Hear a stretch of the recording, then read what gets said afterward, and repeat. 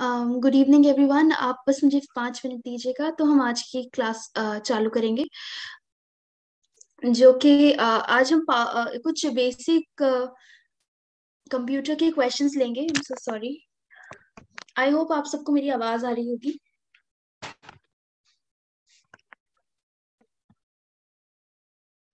Yes ma'am आवाज़ तो आ रही है। आवाज़ आ रही मैडम।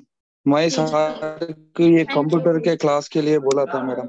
जी जी जी आज कंप्यूटर की क्लास रहेगी हाँ, आपकी। मैं मैं बोला था मैडम एस बी आई का है मैडम कोर्स सारा नाइनटी क्वेश्चंस ये कंप्यूटर का बारे में आता मैडम। जी जी जी सर जी हाँ। तो इसीलिए आज हमने एक स्पेशल सेशन रखा है कंप्यूटर का। तो ऐसे क्वेश्चंस हम लाए जो फंडामेंटल्स मतलब बेसिक कंप्यूटर के भी होंगे और जो जनरली एग्ज़ाम्स में आते हैं उस टाइप के क्वेश्चंस भी हैं। तो हम क्वेश्चंस एमसीक्यू के थ्रू ही हम कीबोर्ड के लिए। कीबोर्ड के लिए जो थर्टी क्वेश्चन है मैडम नेक्स्ट ईयर इसके पहले मैडम। जी जी जी जी जी। हाँ, तो मतलब मिक्स्ड क्वेश्चन किसी एक टॉपिक को हमने कवर नहीं किया है हर टॉपिक का कुछ क्वेश्चंस लिए हाँ। तो हम उन क्वेश्चंस के थ्रू आज क्लास में हम्म।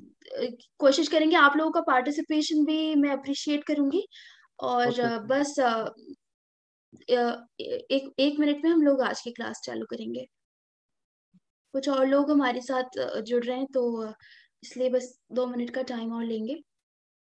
आज विजय सर की क्लास नहीं होगी। इस क्लास के बाद हम लोग आज की क्लासेस वाइंड अप कर लेंगे कि सर जैसे उन्होंने बताया बिज़ी हैं फाउंडेशन डे में तो चलिए। तो हम क्वेश्चन से ही चालू करेंगे। अगर आप लोगों को कोई कोई टर्म में डाउट हो तो हम उसको भी डिस्कस करेंगे। तो हमारा पहला क्वेश्चन ये है कि a file which has not been altered, compressed or manipulated in any way by the computer. ऐसी फ़ाइल जो किसी भी तरीके से कंप्यूटर में हम चेंज नहीं कर सकते उस फ़ाइल का नाम क्या होता है? जो बिल्कुल भी टच नहीं की गई हो मैनिपुलेट uh, मतलब कि बदली नहीं गई हो उस फ़ाइल को हम क्या कहेंगे? आप लोग चैट के थ्रू आंसर दे सकते हैं एबीसीडी और उसके बाद हम इसका आंसर भी डिस्कस करेंगे।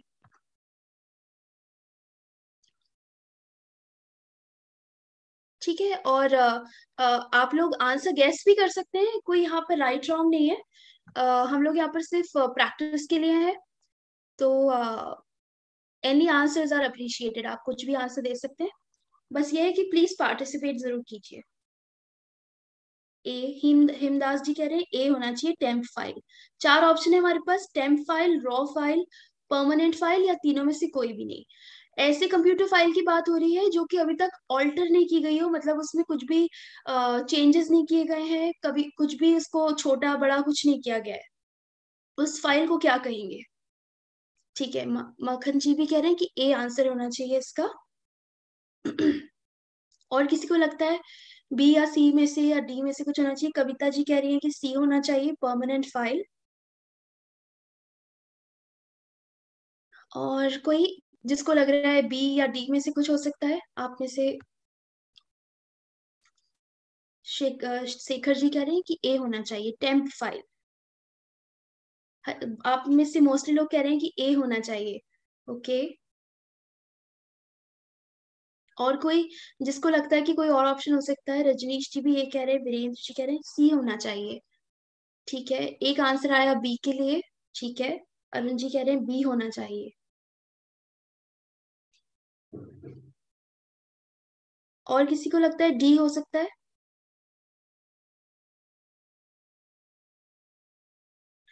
देखिए तो अब हम आंसर की तरफ़ बढ़ते हैं। इसका आंसर होना चाहिए बी रॉ का मतलब क्या होता है? कि देखते हैं रॉ वेजिटेबल्स एकदम कच्ची फ़ाइल मतलब जो कि जिसको जिसमें कोई भी काम नहीं किया गया हो वो होती है रॉ फ़ाइल जो आप लोग ए कह रहे हैं टेम्प फ़ाइल इसका इसका फुल फॉर्म होता है टेम्परेरी फ़ाइल जो कि मतलब मैं, अगर मान लीजिए मैं वर्ड पे काम कर रही हूँ, और मैंने वो फ़ाइल सेव नहीं करी है तो वो उस समय के लिए टेम्परेरी फ़ाइल हो जाएगी. तो ये टेम्प फ़ाइल नहीं है, इसका आंसर होना चाहिए raw file raw file is a collection of unprocess data this is a file which is not altered or manipulated. It is the original file that is gener, generated initially. मतलब कि वही file है, मूल file है। मैंने answer जो है, हिंदी में भी की इस बार ही एंटर करके दिए हैं आप लोगों को ताकि जिन लोगों को इंग्लिश डेफिनेशन में इशू है, वो हिंदी के डेटा से भी समझ सकते हैं। ठीक है? एक रॉ फ़ाइल असंसाधित डेटा का एक संग्रह है। ये एक ऐसी फ़ाइल है जिसे जिसमें कुछ भी बदला और हेरफेर नहीं किया गया है। तो आंसर होना चाहिए बी ठीक है नेक्स्ट क्वेश्चन है. When a real time telephone call between people is made over the internet using computers what is it what is it called a a chat session email session instant message internet telephony या none of these है ना जब भी एक real time telephone हो रहा है जब रियल uh, टाइम मतलब कि फ़िलहाल एट प्रेजेंट किया गया हो कंप्यूटर का इस्तेमाल करके इंटरनेट का इस्तेमाल करके तो क्या होना चाहिए? हिमदास जी कह रहे ई e होना चाहिए। किसने कहा है? डी भी हो सकता है आंसर और किसी को? हाँ मुकेश जी कह रहे डी ठीक है। डी मतलब इंटरनेट टेलीफोनी ठीक है। भारती भरत जी कह रहे हैं सी होना चाहिए। अरुण जी कह रहे हैं सी होना चाहिए इंस्टेंट मैसेज ओके और किसी को लगता है कि आ, कोई और ऑप्शन होना चाहिए? ए ए के लिए भी आ रहा है चैट सेशन ऐसा रियल टाइम टेलीफोन कॉल जो जो लोगों के बीच में हो रहा है इंटरनेट और कंप्यूटर का इस्तेमाल करके उसको हम क्या कहेंगे? ठीक है? ई e की तरफ़ भी आंसर जा रहा है कि ई e होना चाहिए इनमें से कुछ भी नहीं कहलाएगा वो। ठीक है? एटलीस्ट टेन लोग जवाब देंगे तो फिर हम नेक्स्ट क्वेश्चन की तरफ़ बढ़ जाएँगे। आप पार्टिसिपेट कीजिए एटलीस्ट गेस कीजिए आंसर सो दैट अगर गलत भी होता है तो आपको ध्यान रहेगा कि हाँ इसका आंसर ये नहीं था ये होना चाहिए था। ठीक है? और किसी को लग रहा है कि बी uh, होना चाहिए ठीक है डी मोस्टली हमारे पास डी का डी कह रहे हैं कि डी होना चाहिए। सही जवाब है डी इंटरनेट टेलीफोनी इसको हम कहते हैं इंटरनेट टेलीफोनी सर्विस प्रोवाइडर या ऐसे कहते हैं आईटीएसपी अगर आपको एग्ज़ाम में इसका शॉर्ट फॉर्म आए तो आप इसको ध्यान में रख सकते हैं internet telephony service provider ITSP का full form offers digital communication service based on voice over internet protocol कई बार हम मोबाइल में देखते हैं ना, हमें वी ओ आई पी लिखा आता है तो ये भी एक तरीके का क्वेश्चन आपको एग्ज़ाम में देखने को मिल सकता है कि what is a full form of V O I P तो वॉइस ओवर इंटरनेट प्रोटोकॉल ठीक है? तो इंटरनेट टेलीफोनी ऐसा वॉइस ओवर इंटरनेट प्रोटोकॉल होता है, जो कि डिजिटल दूर संचार सेवाएँ प्रदान करता है। तो हम क्योंकि इंटरनेट के थ्रू कर रहे हैं तो इसलिए ये डिजिटल सेवाएँ हमें प्रदान कर रहा है। इसका आंसर होना चाहिए D internet telephony okay next question U N I V A C UNIVAC stand for इसका फुल फॉर्म आपको बताना है कि यूनिवैक का फुल फॉर्म क्या होना चाहिए? Universal automatic computer unique ऑटोमे universal array computer C unique automatic computer या अनवैल्यूड ऑटोमेटिक कंप्यूटर अब जिसने पढ़ा होगा उसको पता होगा अदरवाइज़ आप गैस कर सकते हैं। हम फिर इसका एक्सप्लेनेशन और इसको uh, समझ लेंगे नेक्स्ट स्लाइड में। ठीक है बी ए आंसर आ रहा है यूनिवर्सल ऑटोमेटिक कंप्यूटर होना चाहिए। और किसी को लग रहा है? ठीक है यूनिक ऑटोमेटिक कंप्यूटर का भी आ रहा है। जवाब? ए ए आंसर आ रहा है मोस्टली ए है मेजोरिटी ए आंसर है अभी हमारे पास। Universal automatic computer okay C बोल रहे हैं। यूनिक ए और सी में अभी हमारे पास आंसर आ रहे हैं। कुछ लोग कह रहे हैं सी होना चाहिए कुछ लोग कह रहे हैं ए होना चाहिए। यूनिवर्सल ऑटोमेटिक कंप्यूटर या फिर यूनिक ऑटोमेटिक कंप्यूटर किसी को लग रहा है बी या डी में से कुछ हो सकता है? ठीक है अब इसका आंसर देखते हैं। इसका आंसर है ए जैसे कि आप लोगों ने कहा यूनिवर्सल ऑटोमेटिक कंप्यूटर ये एक ऐसा कंप्यूटर है जो सबसे वन ऑफ़ द अर्लीस्ट मतलब अभी तक का कमर्शियल इस कमर्शियल एक्टिविटीज़ में यूज़ किया जाने वाला पहला कंप्यूटर है इसके, ये क्वेश्चन आप कुछ पास्ट एग्ज़ाम्स में भी आए आरआरबी या इसमें भी, इसलिए मैंने ये क्वेश्चन ऐड किया है। यूनिवैक का फुल फॉर्म है universal automatic computer it is one of the earliest commercial computer next ARPANET stand for आपको इसका फुल फॉर्म बताना है कि एरपा नेट का फुल फॉर्म क्या है। Advanced Recollect Pro, uh, Project Agency Network, A. Advanced Research Protects Agency Network, नेवर्क ठीक है देखिए शायद स्पेलिंग मिस्टेक हो सकती है। Advance research project agency network या फिर advanced research project agency network ठीक है चारों में से ठीक है। अरुण जी कह रहे हैं डी होना चाहिए भरत जी कह रहे हैं बी हो सकता है। ओके हिमदास जी कह रहे हैं डी होना चाहिए। वैसे ही शंकर जी जवाब दे रहे हैं, डी डी डी। काफ़ी लोग कह रहे हैं कि डी होना चाहिए इसका आंसर। बी के लिए भी जवाब आ रहा है। और बाकी लोगों को क्या लगता है इसका आंसर क्या होना चाहिए?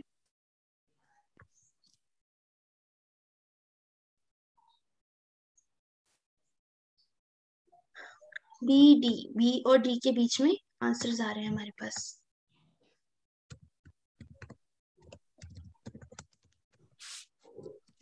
और किसी को लगता है कोई और आंसर जो आंसर दे रहे हैं उसके अलावा कुछ होना चाहिए? ठीक है अब हम इसका आंसर देख लेते हैं। इसका आंसर होना चाहिए डी जैसे कि आप लोगों ने कहा मोस्टली लोगों ने advanced research project agency network ARPANET का फुल फॉर्म ये होता है advanced research project agency network ये एक एक्सपेरिमेंटल कंप्यूटर का नेटवर्क रहता है जो कि सबसे आ, पहले इस्तेमाल हुआ है। इंटरनेट में ये एक, ये भी एक अर्लीस्ट कंप्यूटर का वो फॉर्म ही है। जैसे हमने यूनिवैक पढ़ा ना, उसी तरीके का एरपानेट है।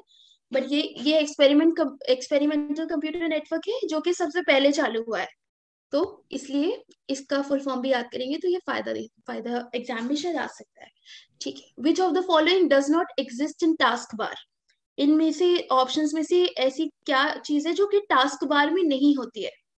ठीक है quick launch start menu my documents address bar या नन ऑफ़ दीज इन पाँच इन चारों में से आपके कंप्यूटर के टास्क बार में क्या चीज़ नहीं होती है?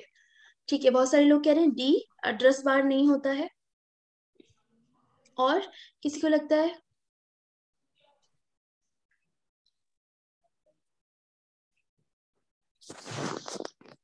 टास्क बार क्या होता है हमारे कंप्यूटर में आप जब भी ओपन करते हैं तो नीचे एक आपको लाइन दिखती है जिसमें काफ़ी सारे छोटे छोटे आइकॉन्स होते हैं। उसको आप मूव भी कर सकते हैं लेफ़्ट राइट किस भी तरफ़ लॉन्च क्या होता है? क्विक लॉन्च क्विक लॉन्च भी एक आपने देखा होगा एक सर्च बार रहता है हम उसमें क्लिक सर्च में क्लिक करते हैं और उसमें ऑप्शंस जो हम ऑलरेडी वर्क कर चुके हैं वो ऑप्शंस खुल जाते हैं। तो उससे हम क्विकली ओपन कर सकते हैं कोई भी ऐप बहुत सारे लोग कह रहे हैं ए बहुत सारे लोग कह रहे हैं कि माई डॉक्यूमेंट्स एड्रेस बार भी जवाब दे रहे हैं। ठीक है। कविता जी कह रही है कि क्विक लॉन्च नहीं होता है टास्क बार में और किसी को लगता है कि आ, क्या पाँचों ही नहीं होते हैं? किसी को ई लग रहा है क्या?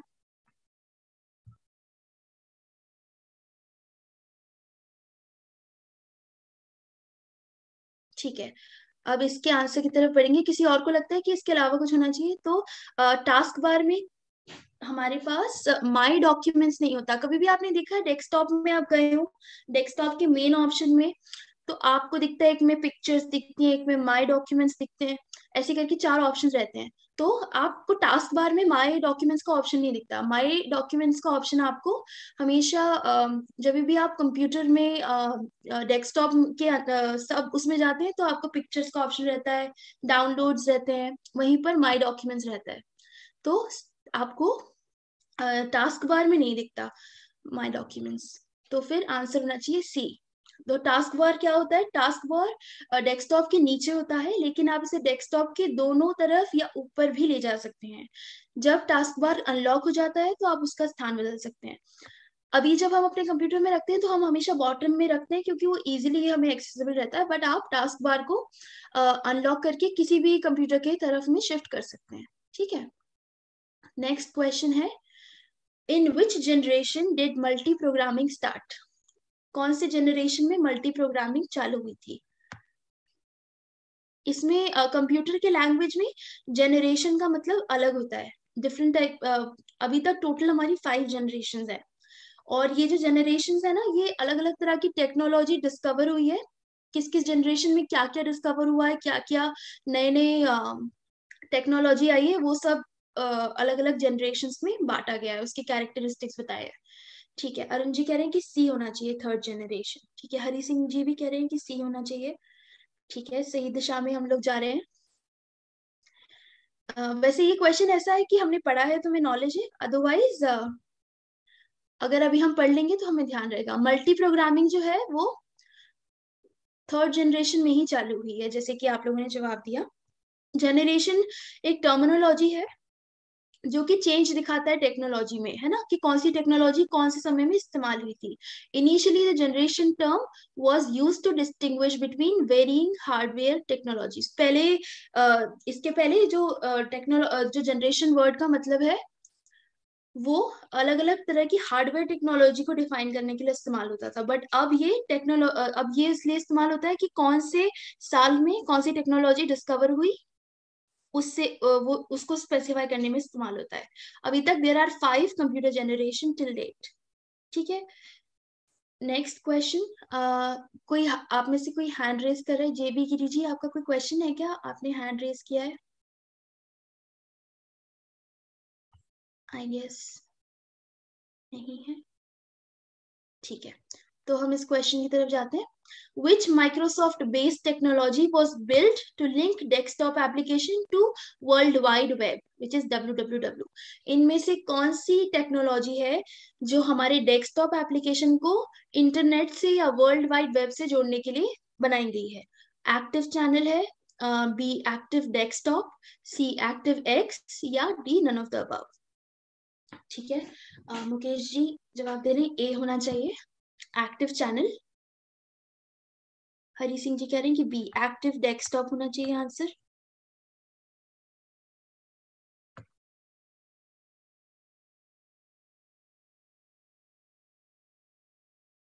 जगवीर सिंह जी कह रहे हैं कि ए होना चाहिए. बी डी भी आंसर आ रहा है कि इनमें से कोई भी नहीं है. ऐसी टेक्नोलॉजी जो डेस्कटॉप एप्लीकेशंस को इंटरनेट वर्ल्ड वाइड वेब से जोड़ने के लिए बनाई गई हो, उसका क्या नाम है? ठीक है। ए और बी में काफ़ी ज़्यादा लोग आंसर दे रहे हैं, या तो ए होना चाहिए या तो बी होना चाहिए। एक्टिव चैनल या तो एक्टिव डेस्कटॉप किसी को लग रहा है कि सी हो सकता है?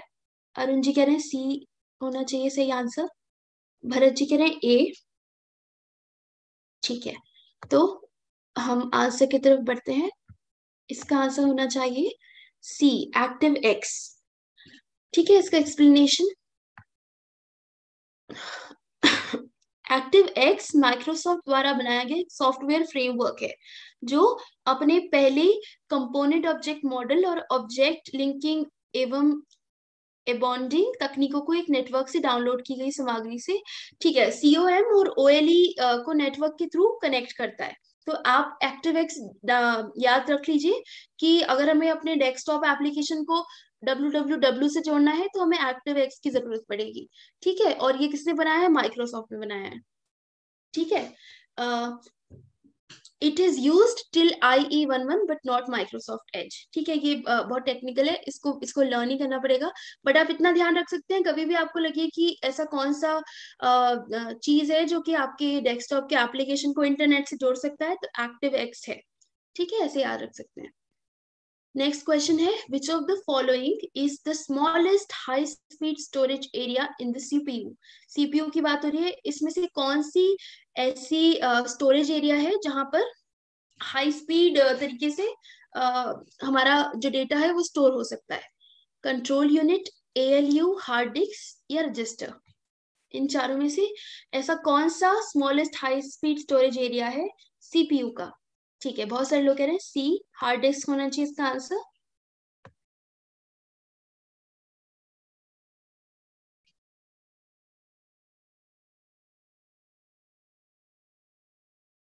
ठीक है, बहुत सारे लोग कह रहे हैं hard disk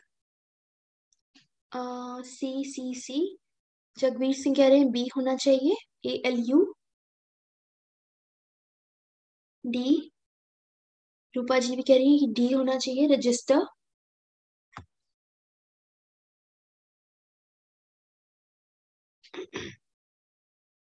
ठीक है बी सी ए ए भी कह रहे हैं बी कंट्रोल यूनिट ठीक है, अनुराग जी कह रहे हैं रजिस्टर होना चाहिए इसका आंसर और किसी को लगता है कि कुछ और हो सकता है? ऐसी स्टोरेज एरिया जो कि स्मॉलेस्ट है और हाई स्पीड है सीपीयू के अंदर। बहुत सारे लोग कह रहे हैं कि सी होना चाहिए हार्ड डिस्क इसका आंसर होना चाहिए।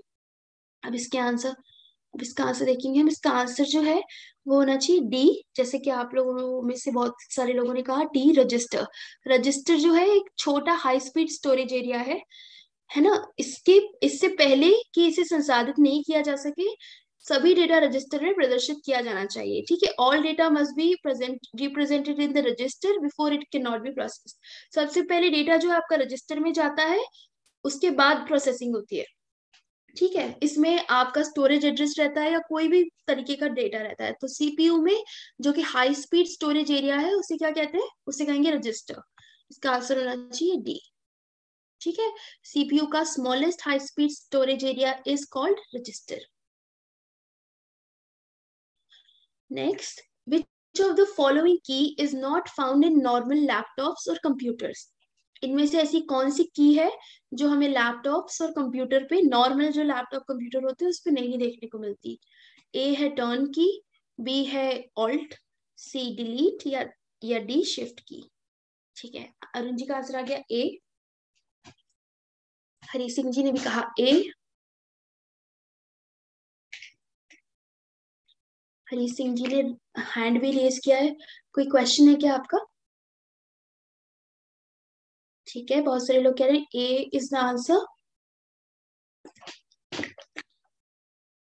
ये काफ़ी इजी पीजी क्वेश्चन है। क्योंकि आप सब लोग ही बैंक में लैपटॉप कंप्यूटर तो ऑपरेट करते ही होंगे obviously A is the option जो हमें देखने को नहीं मिलता। तो इसका जवाब ऑब्वियस है। किसका आंसर है? ए टर्न की टर्न की जो है वो नॉर्मल लैपटॉप या कंप्यूटर में हमें नहीं देखने को मिलती है। ये एक ये जो सर्विस है ये नॉर्मल कंप्यूटर्स पे नहीं देखने मिलती। It is involving the provision of complete product और service that is ready for immediate use ठीक है एक संपूर्ण उत्पाद या सेवा का प्रावधान इसमें शामिल है जो कि तत्काल उपयोग के लिए तैयार है। तो ये जनरली uh, जो हाई स्पीड या ऐसे डिजिटल या हाइब्रिड कंप्यूटर्स रहते हैं उसमें आपको ये की देखने को मिल सकती है। नॉर्मल लैपटॉप कंप्यूटर में टर्न की नहीं होती। ठीक है? हाँ देखिए हमने हाइब्रिड की बात करी और हाइब्रिड कंप्यूटर का क्वेश्चन आ गया। ठीक है a hybrid computer is one of the which exhibit the feature of hybrid computer ऐसा कौन सा कंप्यूटर है जिसमें किस चीज़ के किस किस के फीचर्स होते हैं? Analog computer digital computer both analog and digital and mainframe computer इसमें से uh, जो हाइब्रिड कंप्यूटर है उसमें किस किस के फीचर्स होते हैं? आप अगर हाइब्रिड कंप्यूटर देखेंगे तो आपको कौन कौन से फीचर्स देखने को मिलेंगे? ठीक है? काफ़ी सारे लोग कह रहे हैं कि सी होना चाहिए both analog and digital computer ठीक है? एक आ, किसी ने कहा है डी भी हो सकता है answer mainframe mainframe computer can be the answer also ठीक है? मोस्टली कह रहे हैं कि सी होना चाहिए। ठीक है? मुकेश जी कह रहे हैं डी हो सकता है मेन फ्रेम कंप्यूटर के फीचर्स हो सकते हैं हाइब्रिड कंप्यूटर में। ठीक है। मुकेश कुमार सिंह जी कह रहे हैं कि सी होना चाहिए both analog and digital computer excuse me ji. Virendra ji sorry मक्खन जी कह रहे हैं कि सी होना चाहिए। ठीक है, हम बढ़ते हैं आगे।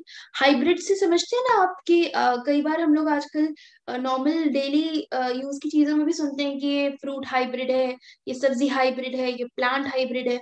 मतलब कि किसी चीज़ का मिक्सचर है, दो चीज़ों को मिक्स करके बनाया गया है है ना? तो जो हाइब्रिड कंप्यूटर रहता है, जिसमें दोनों के फीचर्स रहते हैं एनालॉग के भी और डिजिटल कंप्यूटर के भी, है ना? इसलिए बहुत सारे लोगों को कंफ्यूजन होगा कि एनालॉग कंप्यूटर्स क्या होते हैं और डिजिटल कंप्यूटर क्या होते हैं। तो हम ये भी इसी क्लास में देख लेंगे एक छोटा सा डेफिनेशन में आपके लिए लेके आई हूँ। सो दैट आपको आंसर अगर इससे रिलेटेड क्वेश्चन कभी आगे आएगा तो आपको नॉलेज हो इस बारे में। ठीक है एनालॉग कंप्यूटर क्या होते हैं?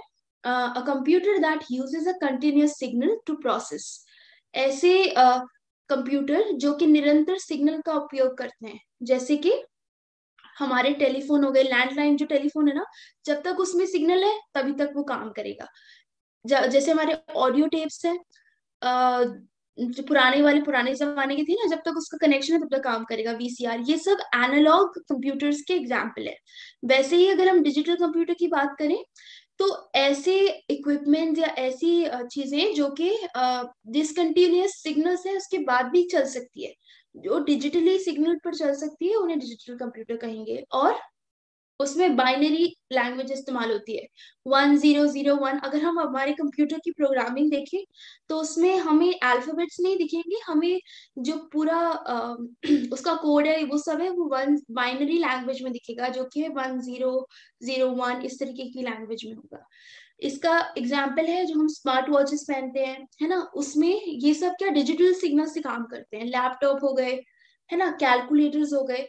इन सब में कोई कंटिन्यूस सिग्नल नहीं रहता या कंटिन्यूस uh, कुछ uh, कोई डिजिटल uh, कुछ भी डिजिटल एनर्जी या सिग्नल्स नहीं रहते। इसलिए वो एनालॉग हो गए जो कि जिसमें कंटिन्यूस हमें सिग्नल चाहिए और जिसमें डिसकंटिन्यूस सिग्नल से भी काम चल सके।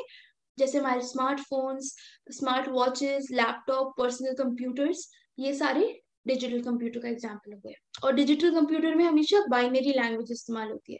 बाइनरी का मतलब one zero zero one zero zero one इस तरीके की लैंग्वेज रहती है।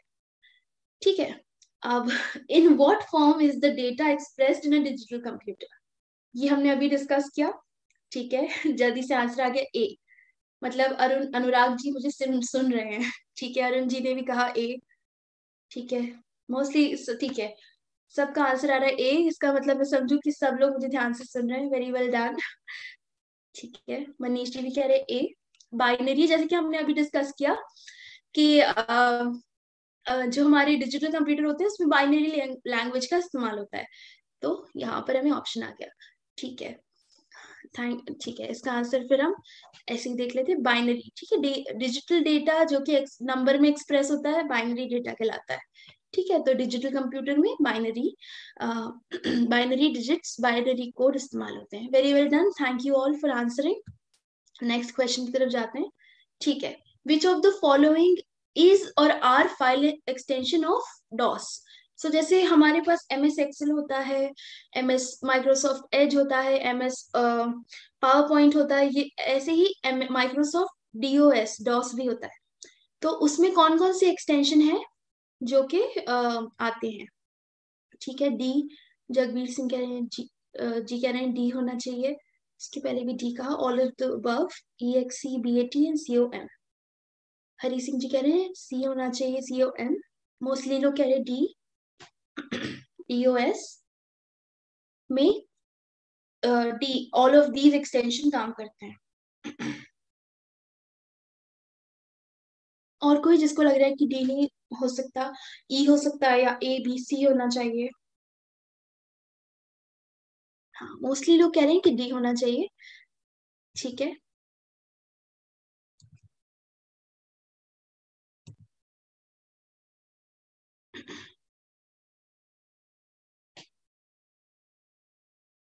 ठीक है मोस्टली लोगों का मानना है कि डी हो सकता है। मनीष जी कह रहे हैं ई होना चाहिए इनमें से कोई भी नहीं। चलिए अब हम इसका आंसर की तरफ़ बढ़ते हैं। ठीक है, इसका आंसर क्या है? डी ऑल ऑफ़ दीज तो तीनों जो एक्सटेंशन हमने देखी ई एक्स सी सी ओ एम और ई एक्स सी सी ओ एम और एक और कौन सा था? बी ए टी ये तीनों जो है वो एम एस डॉस के एक्सटेंशन हैं, इस्तेमाल होते हैं उसमें। ठीक है एम एस डॉस क्या होता है? एम एस डॉस का फुल फॉर्म है micro Microsoft disk operating system ये जो है एक्स एट्टी सिक्स प्रोसेसर का इस्तेमाल करता है। ये एक ऑपरेटिंग सिस्टम है जो कि माइक्रोसॉफ्ट ने ही बनाया है। है ना? This is the first Microsoft window operating system use to run on the M S DOS M S DOS even today Windows operating system support DOS आज भी हमारे जो विंडोज़ है, वो डॉस को सपोर्ट करते हैं। ये सबसे पहला ऑपरेटिंग सिस्टम था जो माइक्रोसॉफ्ट ने बनाया था और इसमें एक्स एटी सिक्स प्रोसेसर इस्तेमाल होता है। मैं इसलिए आपको थोड़ा सा एलेबोरेट करके बता रही हूँ क्योंकि क्या पता एम एस डॉस क्योंकि इतना पुराना इस, इस यूज़ होता है इसलिए आपको हो सकता है ऐसे कुछ एक दो क्वेश्चन मिल जाए एग्ज़ाम में। इसलिए थोड़ा सा एलेबोरेट किया है। जिन लोगों को हिंदी में कंफर्टेबल है वो इसको इसका हिंदी एक्सप्लेनेशन भी पढ़ सकते हैं क्योंकि हमारे पास टाइम एक घंटा ही है तो मैं ज़्यादा से ज़्यादा क्वेश्चंस कवर करने की कोशिश करूँगी। इसलिए हम मैं हिंदी का एक्सप्लेनेशन नहीं रीड कर रही हूँ। ठीक है next question which of the following is used to open file menu options in current program? तो इनमें से कौन सा जो शॉर्टकट uh, है वो फ़ाइल मेन्यू को ओपन करने के लिए इस्तेमाल होता है। कोई करंट प्रोग्राम चल रहा है और मुझे इसमें अपना फ़ाइल मेन्यू ओपन करना है तो मैं क्या शॉर्टकट इस्तेमाल करूँगी? A control F shift F alt F या ऑल्ट कंट्रोल प्लस एफ़ या फिर टैब एफ़ हरी सिंह जी कह रहे हैं कि डी होना चाहिए alt plus control plus F और किसी को लग रहा है कि क्या होना चाहिए? आंसर आप चैट में दे सकते हैं। ठीक है, अनुराग जी कह रहे हैं कंट्रोल प्लस एफ़ होना चाहिए। डी डी डी सब मोस्टली लोग कह रहे हैं alt plus control plus F होना चाहिए। चाहिए। कंट्रोल एफ़ और डी में जंग छिड़ी हुई है चैट में। ठीक है। अरुण जी कह रहे हैं, सी होना चाहिए। ओके। और किसी को लगता है कि ई e हो सकता है या फिर बी हो सकता है? उपेंद्र जी भी कह रहे हैं ए होना चाहिए इसका जवाब। सी ठीक है। भरत जी कह रहे हैं ए होना चाहिए। ए ए ए सी अनुराग जी कह रहे हैं सी होना चाहिए। ठीक है। ऑल्ट एफ़ कह रहे हैं। ठीक है। और किसी को लगता है कि बी हो सकता है या फिर ई e हो सकता है? क्योंकि बहुत सारे लोग आंसर्स दे नहीं रहे हैं उनली गिने चुने नाम दिख रही हूँ मैं चैट बॉक्स में जो पार्टिसिपेट कर रहे हैं। देखिए क्वेश्चन है हम प्रैक्टिस ही कर रहे हैं। ज़्यादा से ज़्यादा क्या होगा हम रॉन्ग गेस करेंगे यहाँ कोई माइनस मार्किंग नहीं है। बट लीस्ट अटेम्प्ट करिए आंसर देने के लिए सो so दैट uh, कम से कम मुझे भी लगे कि जो भी हम लोग जितने लोग हैं वो सब अटेंटिवली मेरी बात सुन रहे हैं, ठीक है? शंकर जी कह रहे हैं बी होना चाहिए, ठीक है? एक दो आंसर और आएँगे, फिर हम आंसर की तरफ़ बढ़ेंगे। ठीक है? मोस्टली लोगों ने कहा कि ए होना चाहिए या तो डी होना चाहिए और कुछ कुछ लोगों ने कहा कि सी भी होना चाहिए इसका आंसर ठीक है? तो इसका आंसर जो है वो सी होना चाहिए। वेरी वेल डन जिन्होंने सी कहा। ठीक है ऑल टैफ जो है, अगर करंट प्रोग्राम चल रहा है और हमें कोई विंडो ओपन करना है सॉरी फ़ाइल मेन्यू ओपन करना है तो हम ऑल्ट प्लस एफ़ का इस्तेमाल करेंगे। वही alt plus control plus F का इस्तेमाल कब करेंगे? जब हमें it allows you to switch to full screen view कोई करंट प्रोग्राम में और हमें फुल स्क्रीन व्यू चाहिए तो हम इसका इस्तेमाल करेंगे। और कंट्रोल प्लस एफ़ तो हम uh, कभी भी कुछ भी डेटा uh, फाइंड करना हो तो हम कंट्रोल एफ़ करके सर्च कर सकते हैं। हमें पूरे पूरे भंडार में से कोई भी डेटा ढूंढना हो तो हम कंट्रोल एफ़ का इस्तेमाल करते हैं। ठीक है? नेक्स्ट क्वेश्चन की तरफ़ जाएँगे। Yes what does DSL stand for DSL का फुल फॉर्म पूछ रहे हैं यहाँ पर कि डीएसएल का फुल फॉर्म क्या होता है? ए है ऑप्शन आपका डाउनलोडिंग स्पीड लिमिट बी है डिजिटल स्टैंडर्ड लिमिट सी है डेटा सर्विसेज़ लेयर और सॉरी सी है data services layer and D is digital subscriber line हाँ और फटाफट आंसर भी आ गए कि डी होना चाहिए इसका आंसर डी ठीक है। शंकर जी कह रहे हैं, बी, भरत जी कह रहे हैं, डी होना चाहिए, ठीक है?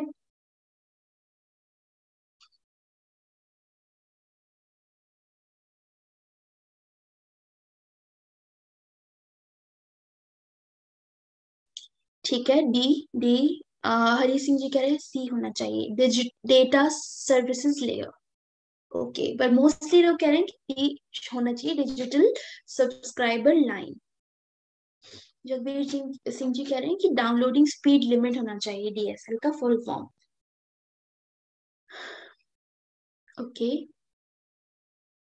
digital subscriber line ठीक है. मोस्टली लोग कह रहे हैं कि डी होना चाहिए. दरअसल मैं थोड़ा सा पॉज लेके इसलिए आंसर की तरफ़ बढ़ती हूँ क्योंकि हम लोग अराउंड थर्टी प्लस लोग हैं एंड आंसर हम लोग सिर्फ़ दस या पंद्रह लोग देते हैं.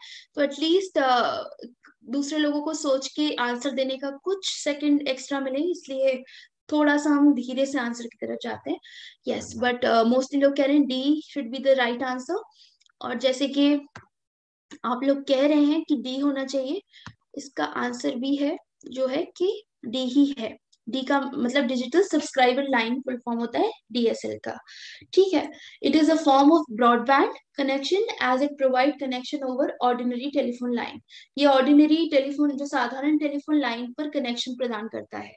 ठीक है एक ब्रॉडबैंड कनेक्शन होता है जो कि साधारण जो हमारी लैंडलाइन टेलीफोन्स रहते हैं उनको कनेक्शन देता है। तो digital subscriber line DSL where are the file move in Windows after deletion ये तो एक बहुत ही बेसिक क्वेश्चन है। आप सभी को पता है अगर uh, अगर विंडोज़ में हम कोई फ़ाइल डिलीट करते हैं तो वो कहाँ जाती है? ठीक है फटाफट आंसर आ गए इसके भी। ए ए ए सब लोग कह रहे हैं ए होना चाहिए ठीक है? ये जो है बहुत ही फेमिलियर ऑप्शन है। हम सब लोग काफ़ी सारा डेटा डिलीट करते हैं विंडोज़ में से अपने डेली एक्टिविटीज़ में। तो हाँ जैसे कि आप सभी कह रहे हैं, इसका आंसर होना चाहिए ए रिसाइकल बिन जब भी कोई भी डेटा हम डिलीट करेंगे विंडोज़ में से तो वो कहाँ जाएगा? हमेशा रिसाइकल बिन में जाएगा। रिसाइकल बिन क्या होता है? टेम्पोरेरी स्टोरेज रहता है, जहाँ पर आपकी डिलीटेड फ़ाइल रहती है। कभी कभी गलती से हम ऐसी फ़ाइल भी डिलीट कर देते हैं जो कि हमारे काम की होती है, क्योंकि हम बल्क में डेटा डिलीट कर रहे हैं। तो क्योंकि ये टेम्पररी स्टोरेज होता है, इसमें से हम वापस जाके उसको रिस्टोर कर सकते हैं। और फिर अगर आपको, आप कंफर्म है कि आपको वो फाइल्स नहीं चाहिए जो रिसाइकल बिन में है तो आप उसको परमानेंटली इरेज भी कर सकते हैं अपने सिस्टम में से। ठीक है? तो रिसाइकल बिन जो है it is a temporary storage आपको ऐसा भी क्वेश्चन आ सकता है कि ऑप्शन दे देंगे कि which of the following is a temporary storage तो फॉर श्योर आपको पता है कि रिसाइकल बिन जो है टेम्पररी स्टोरेज है विंडोज़ में। Next question which of the following is the graphic editor in MS Office इन सब में से जो चार आपको ऑप्शन नहीं है इसमें से ऐसा कौन सा ऑप्शन है जो कि ग्राफिक uh, एडिटर होता है एमएस ऑफ़िस प्रोग्राम में? ग्राफिक को एडिट करने के लिए इस्तेमाल होता है। एमएस ऑफ़िस में हर चीज़ आती है वर्ड एक्सेल uh, और जितने भी माइक्रोसॉफ्ट के एप्लीकेशन है ना वो सब कुछ एमएस ऑफ़िस में आते हैं। तो उसमें से ऐसा कौन सा चारों में से ऐसा ऑप्शन है जो कि uh, आपके ग्राफिक्स को एडिट करता है? ठीक है। सब लोग मोस्टली uh, कह रहे हैं कि एमएस पेंट और MS Project A and D में आंसर आ रहा है। ठीक है मनीष जी भी कह रहे हैं ए मोस्टली लोग कह रहे हैं ए होना चाहिए। ग्राफिक्स की बात आ रही है इसलिए थोड़ा सा इजी हो जाता है गैस करना कि ग्राफिक्स एडिट में कुछ भी आ सकता है फ़ोटो आ सकती है, कोई डिजिटल डॉक्यूमेंट आ सकता है। तो वो हम जो है, जब भी कुछ भी ग्राफिक्स से रिलेटेड एडिटिंग करते हैं, वो हमेशा एम एस पेंट में करते हैं, है ना? तो एम एस पेंट क्या है? एक simple graphic editor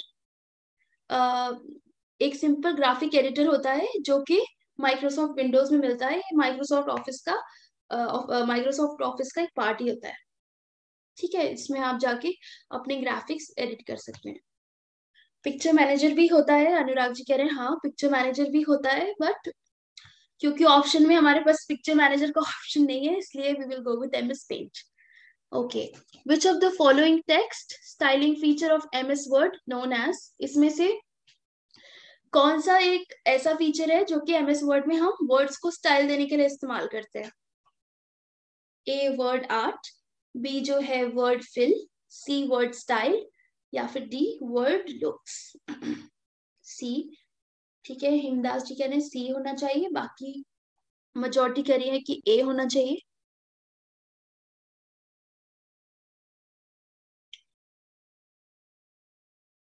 Mukesh Parihar ji raise hand raise किया है, आपका कुछ क्वेश्चन है क्या? ठीक है। बहुत सारे लोग कह रहे हैं सी एंड ए में मतलब बटा हुआ है चैट सेक्शन सी और ए में। कुछ कह रहे हैं सी होना चाहिए, कुछ कह रहे हैं ए होना चाहिए। ठीक है। तो हम लोग जब ठीक है, काफ़ी पुरानी बात है। जब हम लोग स्कूल में कंप्यूटर्स पढ़ते थे, तब हम लोगों को यही चीज़ करना बहुत अच्छा लगता था। तब हम वर्ड्स लिखते थे और फिर ऑप्शन में जाते थे, उसको वेरियस स्टाइल्स देते थे। तो इसका आंसर जो है ए है वर्ड आर्ट है। वर्ड आर्ट से हम डिफरेंट कलर्स में या डिफरेंट फॉन्ट्स में अपने टेक्स्ट को चेंज कर सकते हैं एम एस वर्ड में। तो A is the right answer here ठीक है? The text styling feature of M S Word is called as word art it allows user to make the text more noticeable and more flashy है ना? M S word के text styling feature को word art के नाम से जाना जाता है। ये जो उपयोग करता है, उसको, उसके जो वर्ड्स हैं, उसको आकर्षक बनाने की अनुमति देता है। ठीक है? तो ए होना चाहिए इसका आंसर नेक्स्ट है। Which of these virus infect software program and causes a series of action to begin automatically when the program is open? तो ऐसा वायरस जो कि जैसे ही ओपन होता है, वैसे ही आपके प्रोग्राम को इफ़ेक्ट कर देता है ऑटोमेटिकली ऐसे वायरस को क्या कहेंगे? तो अनुराग जी कह रहे हैं सी एडवेयर हिमदास जी कह रहे हैं ट्रोजान्स भरत जी कह रहे हैं ए मुकेश जी कह रहे हैं डी होना चाहिए मैक्रोवाइज आजकल ये वायरसेस काफ़ी सारे डिफरेंट डिफरेंट टाइप के आ रहे हैं। हर दिन कुछ ना कुछ साइबर से रिलेटेड अलर्ट या कुछ हम नया पढ़ने को मिलता है।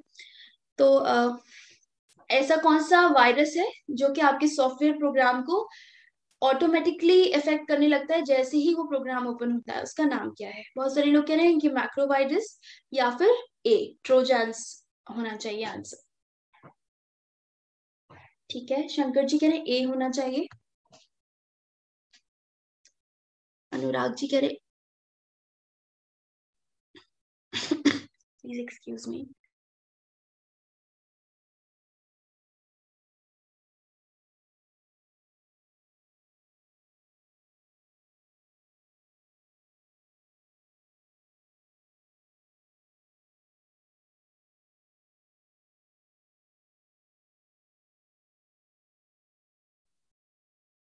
ठीक है। और किसी को लगता है कि कुछ कुछ और आंसर होना चाहिए? राजीव जी भी कह रहे हैं सी होना चाहिए एडवेयर ठीक है। है ना? तो इसमें से अब हम सही सही आंसर की तरफ़ बढ़ते हैं। किसी और को कोई गैस करना है? किसी को लगता है बी हो सकता है क्या? एक्सक्यूज मी मेरा थोड़ा गला खराब है तो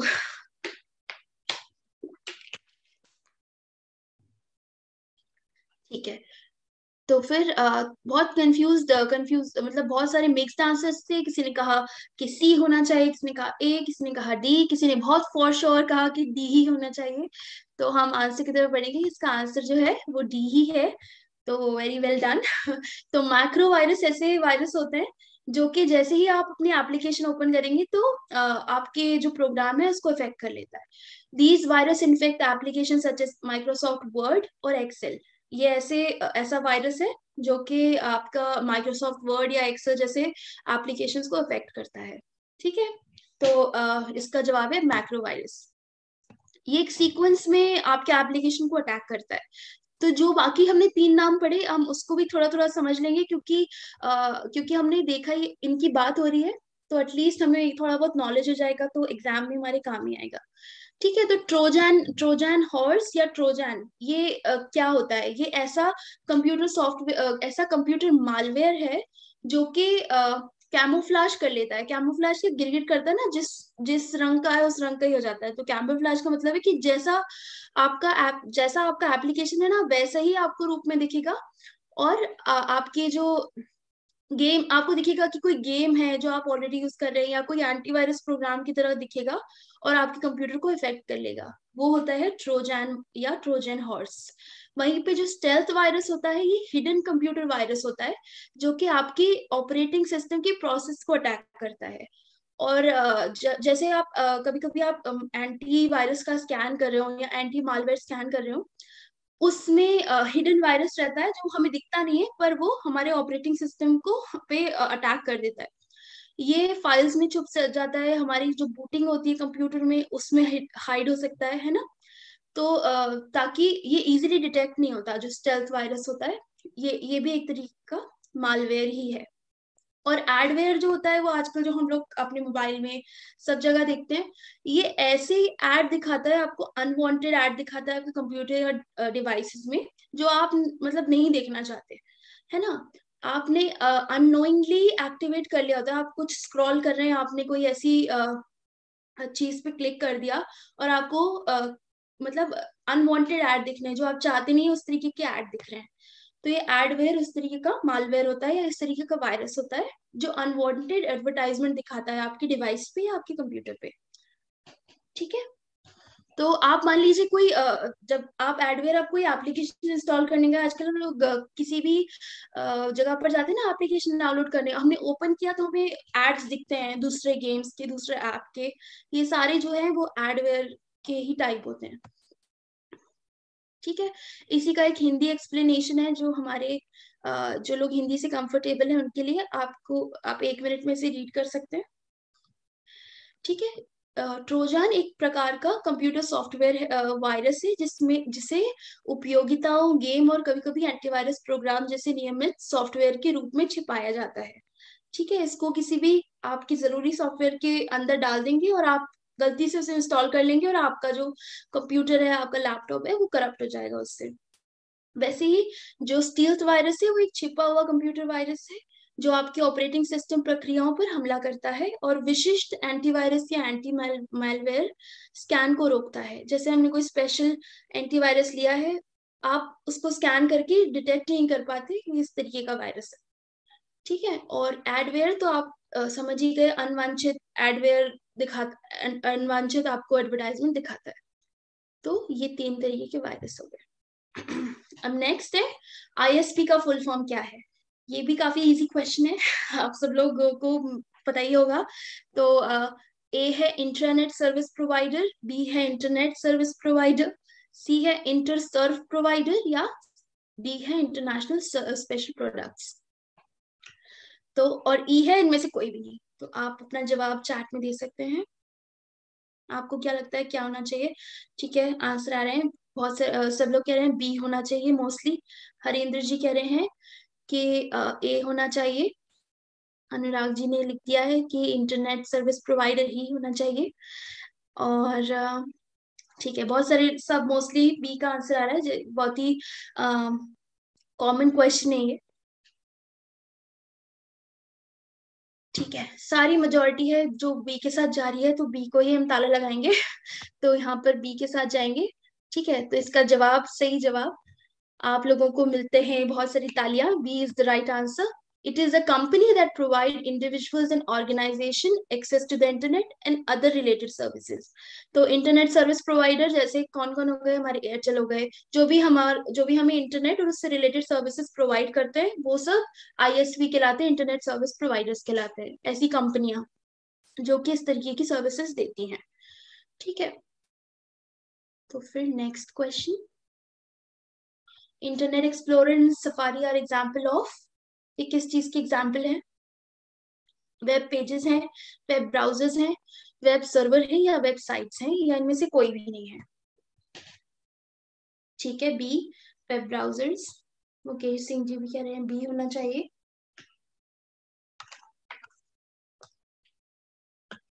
शंकर जी भी कह रहे हैं बी होना चाहिए। बहुत ही कॉमनली यूज़ ब्राउजर्स हैं। एक एप्पल और उससे रिलेटेड लोग ज़्यादा इस्तेमाल करते होंगे और एक हमारे पुराने जमाने का इंटरनेट एक्सप्लोरर जो हम पहले इस्तेमाल करते थे तो ठीक है बी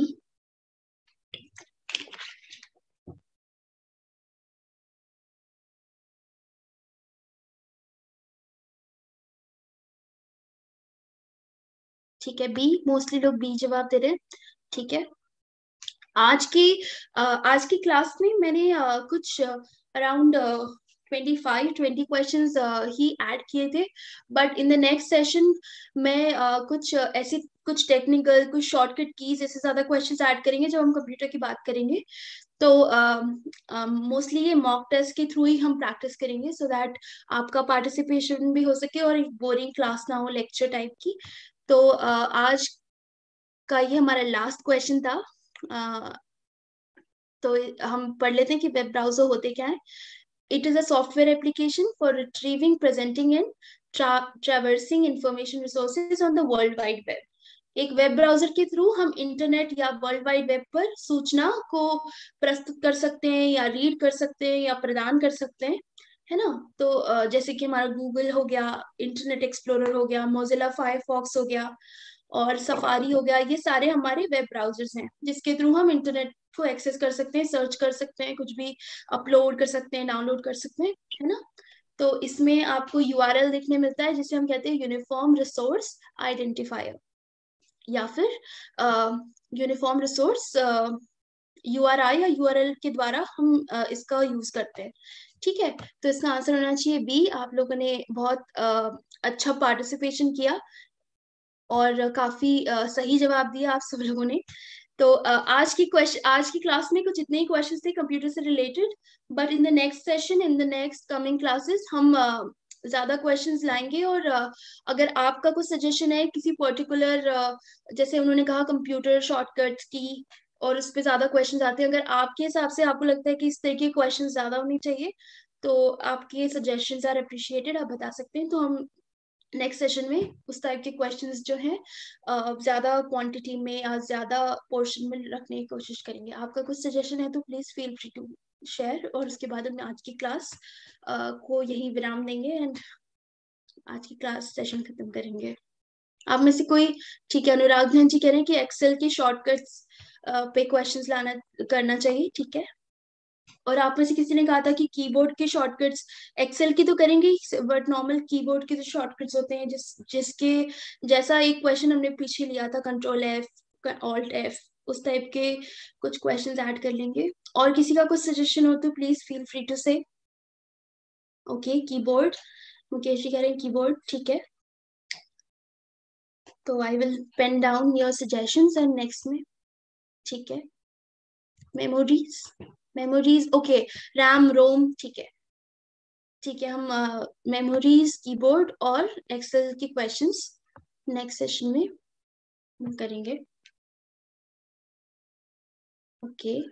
और बाकी और किसी को कुछ सजेशन देना आप दे सकते हैं अदरवाइज़ मैं आप लोगों का बहुत शुक्रिया अदा करती हूँ आज के सेशन में जुड़ने के लिए और इतना अच्छे से पार्टिसिपेट करने के लिए आंसर देने के लिए और आप लोगों को बेस्ट विशेष देती हूँ आपके प्रिपरेशन के लिए एंड नेक्स्ट सेशन की इंफॉर्मेशन सर आपको शेयर करेंगे और I wish you a great evening ahead और ऑल द बेस्ट तो गुड नाइट मैम अभी क्लास नहीं है क्या उनका विजय सर का? नहीं आज विजय सर की क्लास नहीं है क्योंकि उनका फाउंडेशन डे है तो वो वहाँ पे ऑक्यूपाइड है वहाँ बिज़ी है तो आपको अब कल होगी उनकी क्लास आज के लिए यही आपका लास्ट सेशन था तो जी। Okay ma'am thank you ma'am thank you thank you thank you all